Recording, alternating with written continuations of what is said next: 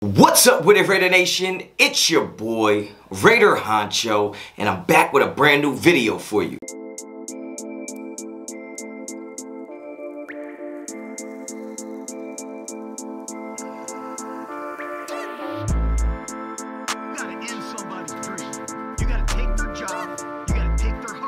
Alright guys, get right into it. You already know the vibes. You already know what type of time I'm on. If you're not a subscriber to the channel, damn, subscribe to the channel. Also, hit me up on Instagram and Twitter, both at Raider Honcho. And don't forget to hit the likes. Now, Yesterday, Davante Adams and Derek Carr had a press conference, and obviously I tuned in because I'm trying to hear everything what everybody's saying, especially when you're talking about they had a players-only meeting, you know, you had behind closed doors meeting with, with the owner and head coach. So now I'm trying to listen to what everybody's saying, and I'm trying to read in between the lines. Now, I'm not trying to make a bunch of something about a bunch of nothing, but I am trying to listen to the tones and listen to the manner in which these people are speaking so I can get a kind of idea of what's really going on behind the scenes. Now, and when you talk about Davante Adams, Davante Adams yesterday was talking a lot about you know, people uh, making remarks about Derek Carr, missing him a lot, Derek Carr ignoring him, Derek Carr intentionally not throwing him the ball. And it sounds like Davante Adams, although he's admitting that him and Derek Carr are good players and that they do have a relationship, that it is going to take a little time to get on the same page because Davante Adams is saying he's the only receiver that's getting covered the way he's getting covered in the NFL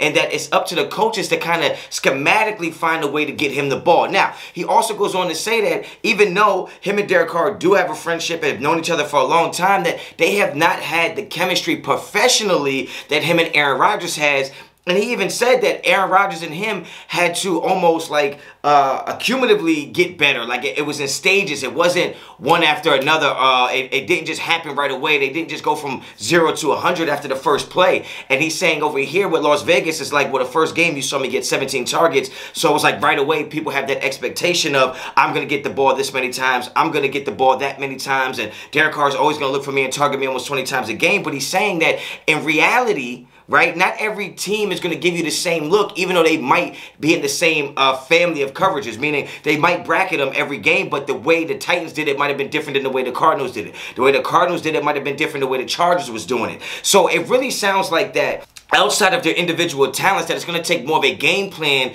to get them in the right looks to be able to get him the ball because at the end of the day, Derek Carr said it himself. He's going to trust Josh's opinion. He's going to trust where Josh wants him to go with the ball. And and honestly, what that means to me is if Josh McDaniels is saying, Derek Carr, we're going to run this play, this is who should be open, that's who Derek Carr is going to think the play should go to, whether it has Davante involved or not. So I think it's up to the coaches to kind of get Davante more involved than it is on Derek Carr because at the end of the day, if Derek Carr is telling you, I'm listening to where Josh is telling me to throw the ball, then it's up to Josh to tell him where to throw the ball correctly. Now, I don't agree with that. I think that they should take the training wheels off because it is his ninth year in the league. He is a star quarterback. He is a franchise quarterback. He has the talent to get the job done. I think you take the training wheels off, you take the handcuffs off, and you let the boy go out there and just play football. And I think you'll see something more like an Aaron Rodgers to Davante Adams, where even when he's not 100% uh, open, you still throw him the ball, right? As a quarterback, a former quarterback, somebody who plays defensive back, somebody who coaches defense. Look, if the defender's head is turned, you got to throw the ball to the receiver,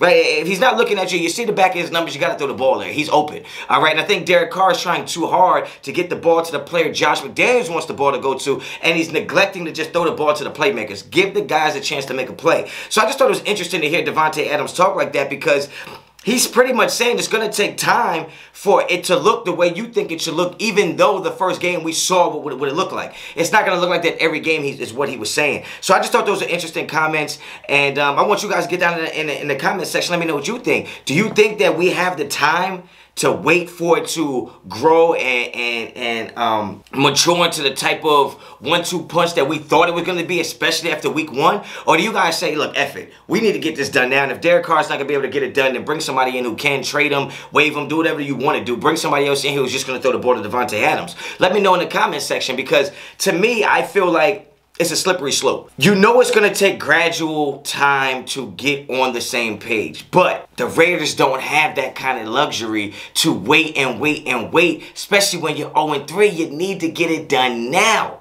And the Raiders have to figure it out, whether it's in practice or whether it's in pregame, whether it's in films. They got to find a way to get Derek Carr on the same page with not just Davante Adams, but with Josh McDaniels. Because it sounds like this this relationship is off to a rocky start with, with, with the idea of Derek Carr wanting to be a coach pleaser and wanting to just do everything the coach is saying. Like, that just doesn't really work. Derek Carr is on the field. Josh McDaniels is on the sideline. He doesn't have a front row seat to what the defense is actually giving him, the looks he's getting, the movements pre-snap. Derek Carr has to see that. Derek Carr has to be in charge of that. Derek Carr has to step up. And Derek Carr has to play better in order to give us a chance to win. And that's just the bottom line. Get down in the comments. Let me know what you guys think. Uh, if you like the video, like the video. You like the content on this channel, you should really subscribe to the channel because I'm bringing this shit all year, man. Oh, yeah, man. All right, so hit me up on Instagram and Twitter, both at Raider Honcho. And until the next time, as always, Raider Honcho out.